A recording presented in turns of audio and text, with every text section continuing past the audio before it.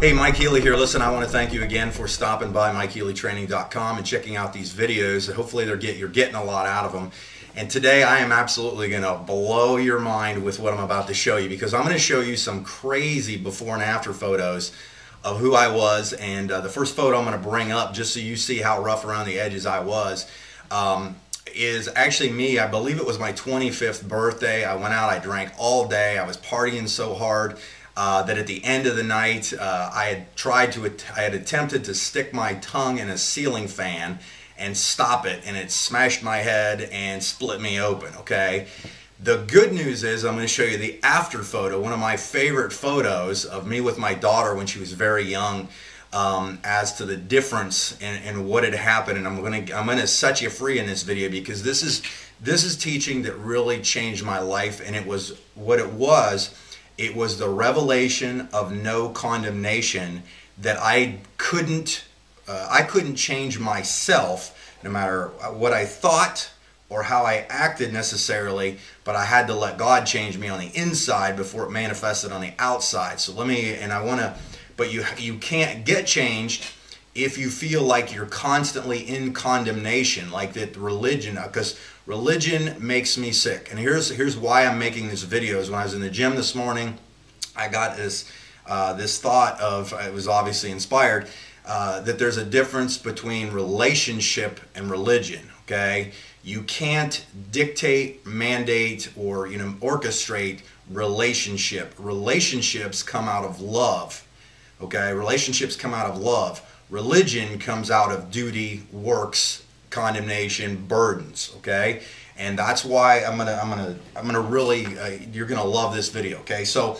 So here I was years ago, uh, coming out of the bar industry, alcoholic, wild man. You know, I, you're talking to, you're looking at a guy who actually got kicked out of a Slayer concert. okay, and because I was being too aggressive and rough in the pit, you know, the mosh pits. I got kicked out of a Slayer concert. Okay, how do you do that one by any stretch of the imagination? Luckily, I got back. Not luckily, but I ended up getting back in because I because I bounced. I knew the guys that were running the security and they let me back in. Anyhow, so so let me let me let me go on what I'm going to talk to you about here is when I first, uh, throughout my life, basically, I had I had thought or I had pictured, uh, you know, God is a hard taskmaster that I that I had done a lot of stuff wrong and there was no hope for me. How could this? Because that was what religion had been talking. You know, that was the voice of religion, and if you want to go way way back in into the bible the very very beginning of the bible in the book of genesis where adam and eve sinned or adam sinned basically started this whole earth curse system Satan had tempted him by giving him knowledge of good and evil, right? Well, guess what that was? That was a false uh, teaching that he was trying to manipulate them to get under that would say, well, you can't do this, you can't do this, because they were already, they had all rights and freedom based on relationship with Father God to begin with. So they didn't have to work or earn anything for it. But when that sin happened, it allowed boom. Now this that's where really religion began uh, as far as a condemnation thing. So let's let's get some stuff going here. And I'm telling you, if you if you watch this or you follow this or if you share this with somebody, it's going to change them if they're open minded to uh, to listen to this. Because a lot of people right now, you feel or you you know that you've got some stuff going on in your life that should be cleaned up, okay? And you can't figure out how to do it. Well, guess what? There is good news. That's why I always do these videos is to encourage you. And you can't clean it up by yourself. I was, uh, I literally had been to the point in my life um, where I was, I was very violent. I've talked about this in some of the other videos. And I, I remember sitting in the parking lot of a church at about 2 o'clock in the morning yelling at God, drinking a six pack of beer uh, in that parking lot because I couldn't, I couldn't, I didn't, I didn't believe that God was going to help me. How could you love me because of what I had done in my past, of all the sin and all the uh, the violence and, and what I, you know what spewed out of my mouth. I mean, I used to cuss like a vice cop and uh, not if, if you're a vice cop that's uh, okay so don't take it the wrong way. But uh, you know what i'm saying? And and really I, I had no revelation of love of god. And i taught this on the, in the one video i did on luke uh, luke 15 but this is completely different because i want to take you to uh, there's no condemnation and, and, and, it says in Romans 8, and that's not where I'm going, but there is therefore now no condemnation in Christ. So let me go to John 8. I want you to write that down if you grab a pen and paper pause me real quick. John 8. And this was uh, this was where I started to learn to see when I first showed up at a church, my church that my pastor Gary Cassie uh, taught at or was teaching. I was pretty pretty concerned that they, they were even going to let me in. I figured that they had a sign there with Mike Healy on it that had a, a you know a slash through you know those red red don't go tread here signs that I wouldn't be allowed in there. And I was welcomed at this church with open arms and love. And I told them that I was in the bar business and that they were like, "Oh, come on in." And I'm like, "Really?" I go, "Wait a second. Did you know how what I did last night?" And they're you know like, "Oh, come on in," you know like this and uh, that got my uh, got my attention because relationship and true love is acceptance for what for regardless of what you've done this is a big thing there's again no condemnation in christ jesus and this uh, what the story that really kind of uh, started to springboard this for me was luke 8 is actually the talk, talking about mary magdalene now you guys may or may not know about mary magdalene the story of mary magdalene is basically uh, te- uh, Jesus was out teaching. He was teaching about, you know, how the kingdom of God operated, basically how to get your needs met, healing, what, what the love of the Father really was all about. And all of a sudden, these Pharisees, the religious people, had dragged out Mary Magdalene. Basically, he, they dragged her into the street, and according to their law, the, the you know the religious law at the time, they were to they were to stone her to death through uh, you know, because of this sin that they had caught her in. And they were really what they were trying to do. And they go to then then they're surrounded in this lady. So understand, think about the shame this lady probably felt. That she was probably probably didn't have any good future, and she was this was the only way she could mentally think of that she could get her needs met. Basically, she had nothing there. She probably didn't have a family, and and you know, and everybody's like, oh, that you know, that lady's a prostitute. But guess, but but what it is is maybe that's the only thing that she knew at the time that that's that's what she could have you know that that's how she could get her needs met and the religious people out there start pointing the finger at her and start saying this and and well then they want to catch they want to catch jesus um, you know off of their side basically they want to condemn jesus for what maybe he's going to say in this and says teacher okay so they approach him oh teacher uh, they said to jesus this woman was caught in a very act of adultery the laws of moses says stone her because they were trying to trap him. And they and here's what he said. Uh, they kept them. They demanded an answer. You know, they basically wanted they wanted God to agree. They wanted Jesus to agree with them that their condemnation of this sin was going to say, you know, was make them feel better. Okay, but Jesus looks at. He goes, "All right, stone her." I bet they were like, "Oh yeah, you know, now we get to we get to condemn this person for what they've done."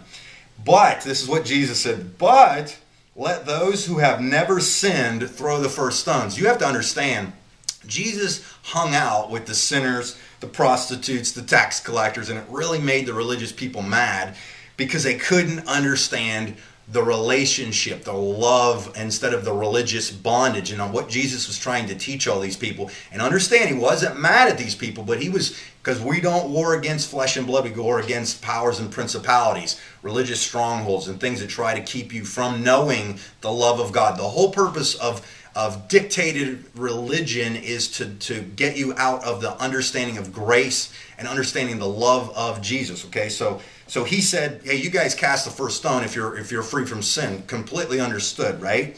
Then he stooped down again and wrote in the dust, okay? And I would love to know for sure what he exactly wrote in there. He probably put a smiley face down there so that Mary Magdalene, because Mary Magdalene ran and she was crying at Jesus' feet when this happened, okay? She knew, she had probably listened from a distance of, of his teaching and understood, and then they ran out there she went right to Jesus, okay? And now when the accusers heard this, they slipped away one by one, beginning with the oldest until only Jesus was left in the middle of the crowd with the woman.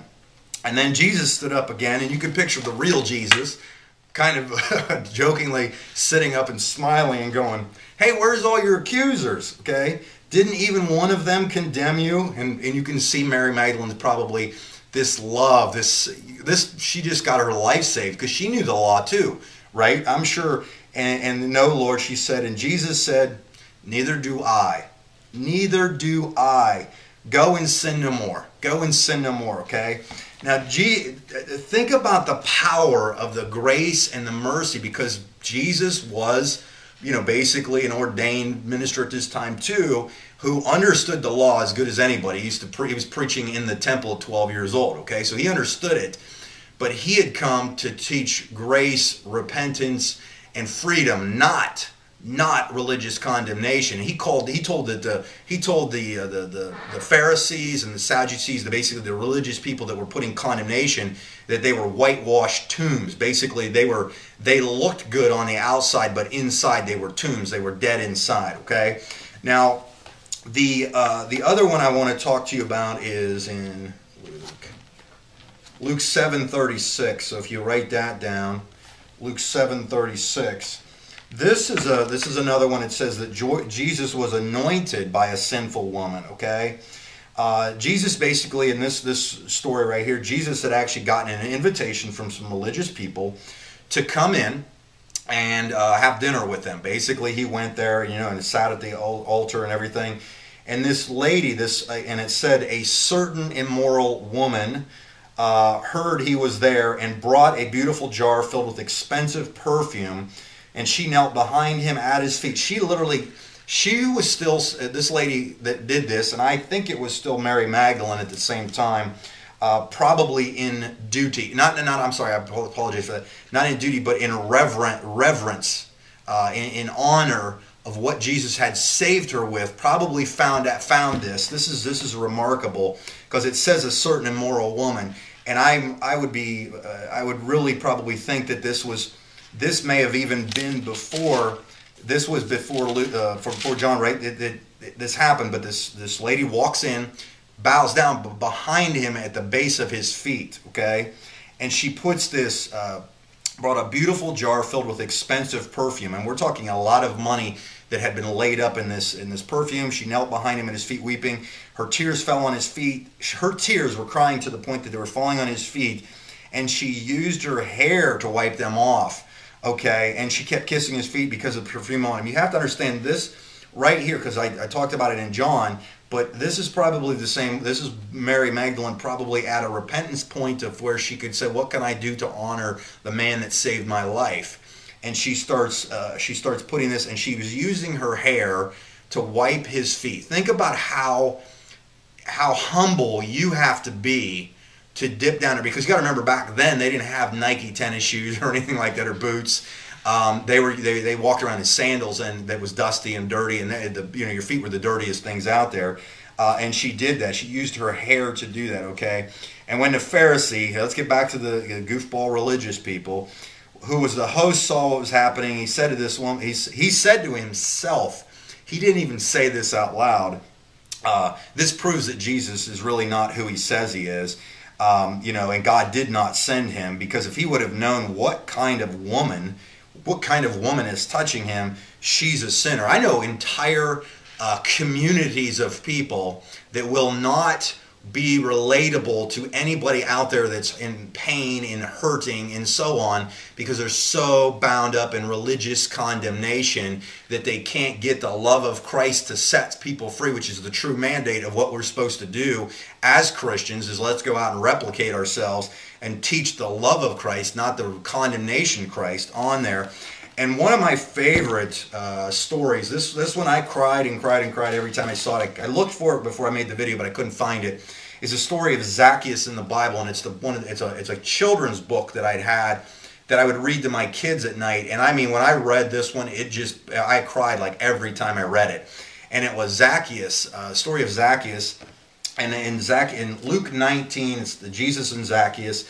Jesus entered Jericho, and there was a man named Zacchaeus he was one of the most influential so uh, Jews in the Roman tax collecting business, and he had he had become very rich. So this is a man who had a high place of honor as far as wealth, you know, stature. He was you know he was he was influential in both the Jewish community and the Roman community. And he was he was he was rich, and he tried to get a look at Jesus because he, but he was a short person, so I kind of understood the complex because I'm not very tall myself and he tried to get to the so he ran ahead so basically jesus is walking through this area saw some crowds gathering around him He ran ahead and climbed a sycamore tree beside the road so he could watch from there. Think about the, the what this guy might have felt in the dark, in the in the still of the night when he's out there, um, thinking about what you know what his life had become. That he'd amassed wealth, but he probably and it goes on to talk about how he cheat, you know, kind of he, he was going to cheat, cheat, cheated people basically.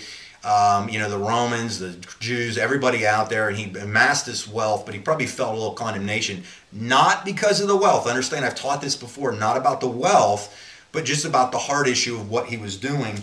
And he probably heard because he knew who Jesus was. Understand, he had heard about Jesus, but he and he probably had heard idly people talking about them, about him, and said when Jesus came by. So just picture Zacchaeus in a tree when Jesus came by, he looked up at Zacchaeus, called him by name, said, Zacchaeus, come on down here, buddy, you know, for I must be a guest in your home today. I must be a guest in your home today. Could you imagine Zacchaeus feeling condemned, probably, getting up in a tree because he felt like he couldn't get through the crowds? You know, he didn't feel like he was a, probably, he didn't have any uh, revelation that he was loved at all. And he had gotten up in this tree just so he could see and hear what this was because he was being drawn he was being drawn by love because Jesus was somebody that came to meet people's needs out of love and not condemnation. And he came, and Jesus says, "Come down from there. I must be a guest in your home." Zacchaeus quickly climbed down and took took Jesus to his house in great excitement and joy. Great excitement and joy.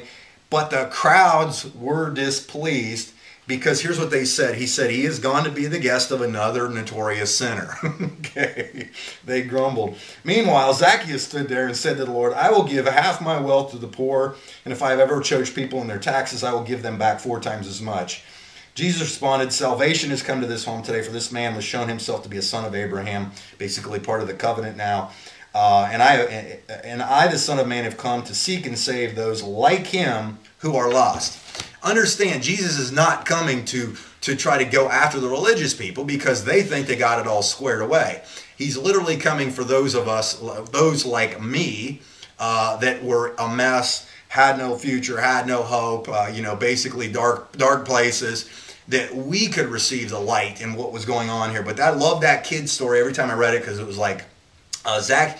Uh, Zacchaeus was way too small, and he says, "Why is everybody so tall?" It was kind of a rhyme story, and he, you know, Zacchaeus, Zacchaeus, come down from there and eat with me. And, G- and Jesus got this big smile on him, and Zacchaeus, and I just cried every time I did that. And I, and I want to kind of uh, close this with this because uh, hopefully this is in, in, instilling in you the, the, the love, okay, that you can understand that there's no condemnation.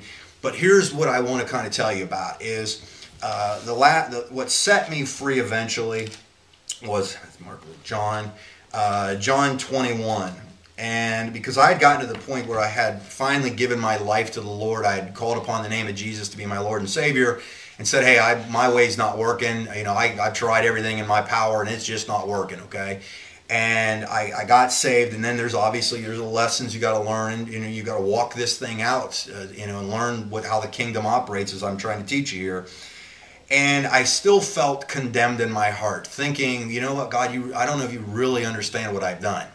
Understand that there's a difference between uh, conviction of what you may be doing because you're, you're, sinning, the Holy Ghost, the Holy Spirit convicting you to maybe not do something because it says the wages of sin are death. So he's not trying to do that. And condemnation is comes is basically from the devil. Basically, condemnation is putting you the burden on you that you've done it wrong. You've had you've done this. You you know. I mean, I can go on and on about the sins that are out there, right? And I and I like I said in a couple videos, I think I broke all ten commandments, you know, readily. Um, but here's one of my favorites is John 21. I kind of call it the restoration of Peter.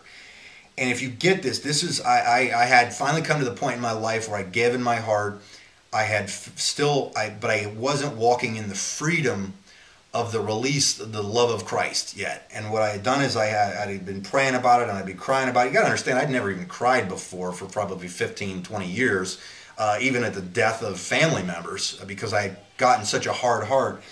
And G, Peter denied, we've all heard the story about Peter denying Jesus. Peter denied Jesus right before his crucifixion. Understand, Peter was one of the first disciples called. Jesus knew all this was going to happen. He even predicted, you know, Peter's denial at the Last Supper. But he didn't. But he and never once did he condemn him. He still washed Peter's feet at the supper. He didn't smack him upside the head and going, dude, you know, I can't believe all the stuff I've done for you, and now look at the price you're, you know, look at how you repaid me. You're denying me. That's not what he did. What he did was he restored John, and I and I and when I when when I was sitting on I was sitting on my couch um, years ago, and I remember having this this burden feeling of of still the condemnation on me, and God had to restore that love into me.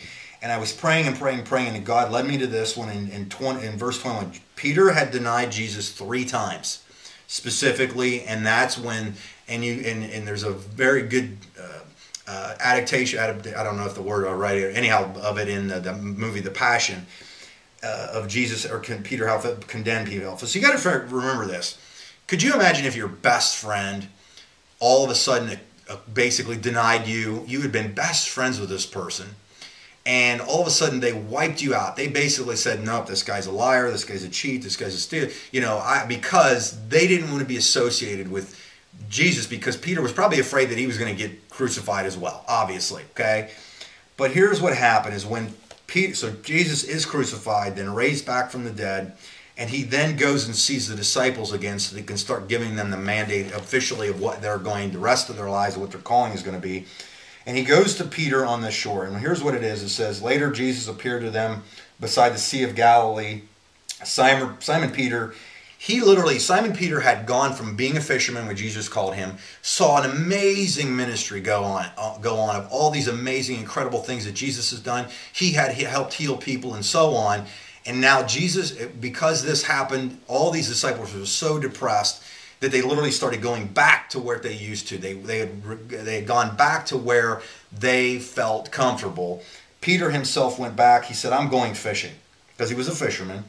And, and they said, hey, we'll come too, they all said. So they all went back in the boat, but they caught nothing all night. and I mean, think about it. So they're, they're laying there, they're probably in the boat like this, just going, are you kidding me? Are you kidding me? We had all these cool things. We saw demons cast out. We saw people raising the dead you know, and now we're out, we can't catch fish, you know, I, and we were professional fishermen before we started. And what it was was they probably just had this, nothing was working in their lives because they still felt this condemnation. A lot of them had denied him, they took off, they were hiding. And, you know, he called out to friends, have you, and here's what's happening is Jesus was on the shore. They didn't even know who, they didn't, had not seen him yet, right? You know, they didn't know who he was. And he called out to them, he goes, hey, friends, have you guys caught any fish? And somebody called back, no you know, then he said, he said, throw out your net on the right side of the boat and you'll get plenty of fish. Earlier on in this in the scripture, when Peter was called, he actually taught people, or he had that's how his whole ministry started. Peter's whole ministry started when he called, and it's in Luke five.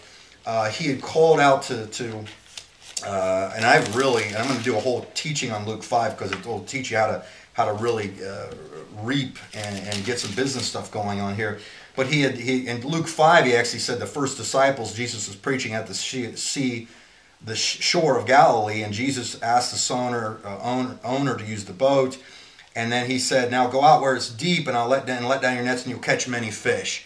Peter Simon said, "We worked hard all last night, didn't catch a thing, but because you say so, we will." So go all the way through this whole section right here of the Bible, you know, of, of that John. You're here where Peter denied him condemnation. He goes back to the old way of living. Um, and he says, we, we fished all night, we didn't catch anything. And here's, here's Jesus, which they hadn't recognized yet. It says, hey, throw out your boat on the other side, you'll catch plenty of fish. So they did, and they couldn't draw in the net because there were so many fish in it.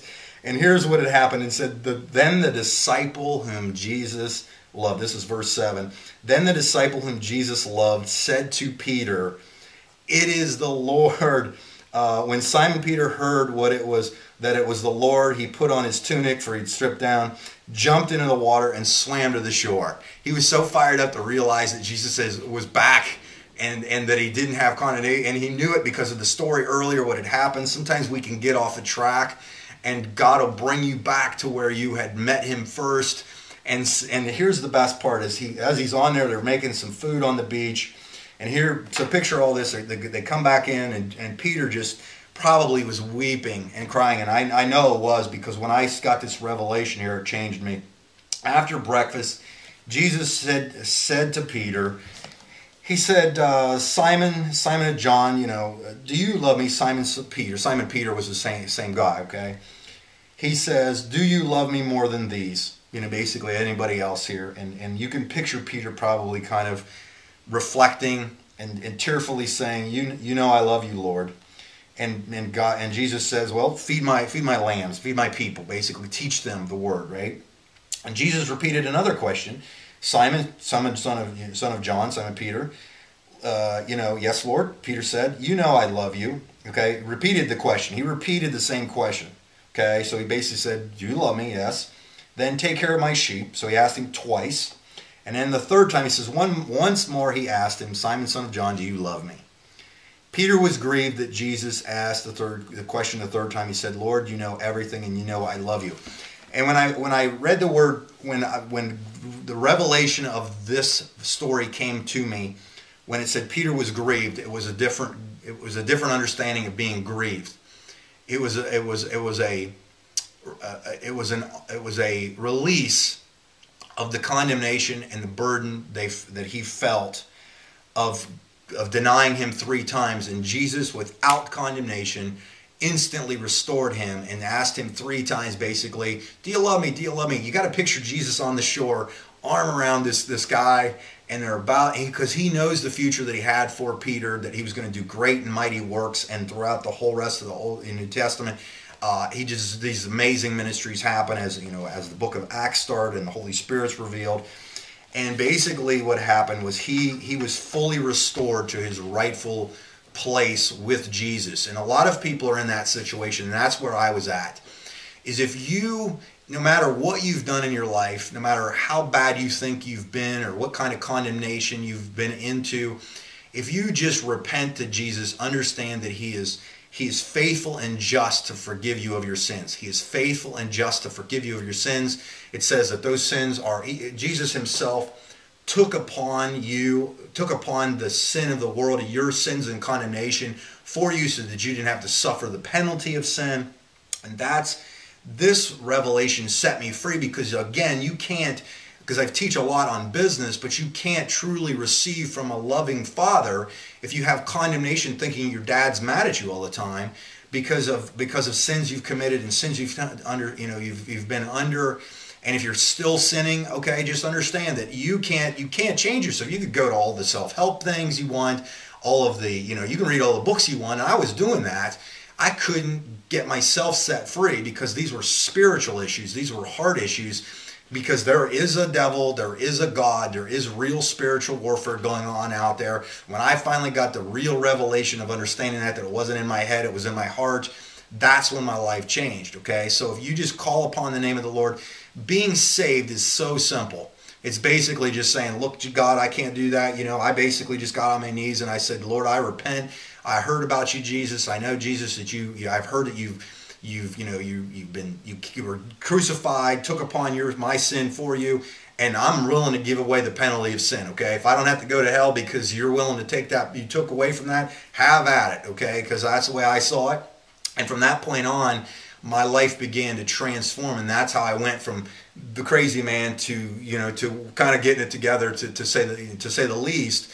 Uh, and and and understand like I've said in these videos these are these are videos to encourage you not to, to always encourage you that the best is yet to come for you because if you just call upon the name of the Lord and all being saved is it says anyone who calls upon the name of the Lord calls upon Jesus will be saved. All you have to do is repent and say listen Father God I just thank you Jesus, that you sent, God, you sent your son Jesus to die for my sins, that, that you know, that I, I, I can't do it in my own strength, and I release that upon you, Lord, and I thank you, Jesus, that you forgive me.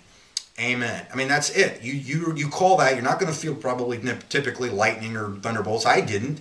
But what had happened is, and I'll teach you about the power of the Holy Spirit here in a couple other videos uh, that'll give you even more power to go above and beyond anything you could possibly think or imagine. But if you understand that there's no condemnation in Christ in those who belong in Christ Jesus, read Romans 8 uh, there and it will set you free. And that you can't do this in your own strength, that you do have to have, Jesus is a savior for good things to give you a good future and a good hope. Uh, Jeremiah 29 11, I, I, I know the plans I have for you to give you a good future and a good hope. So hopefully you got something out of this video. Again, my name is Mike Healy. I thank you for watching this. Hopefully you watch it to the end. Um, and hey, I can I can go on and on. I'm gonna make some more videos for you because I want to get this out there because it's changed my life. I know it's gonna change yours, and I will see you at the top. Thanks.